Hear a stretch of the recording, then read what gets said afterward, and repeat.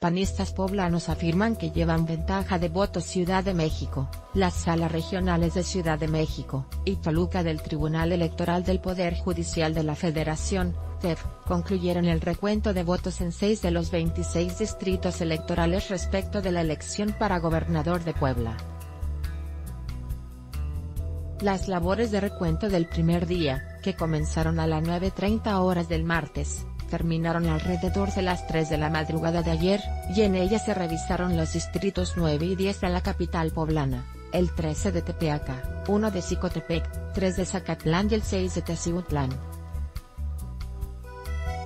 Los 60 militantes de cada uno de los 10 partidos que participaron en la primera jornada fueron relevados.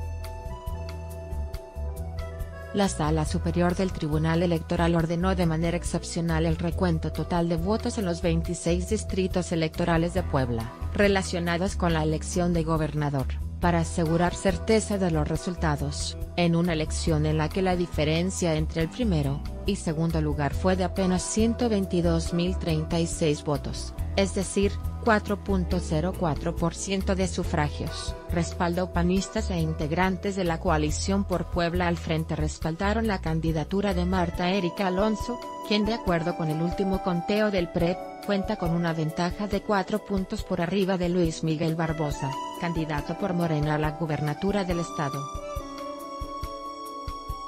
Asimismo, el coordinador de la campaña, Maximiliano Cortázar, señaló que la candidata aventaja con más de 122 mil votos, 24 horas,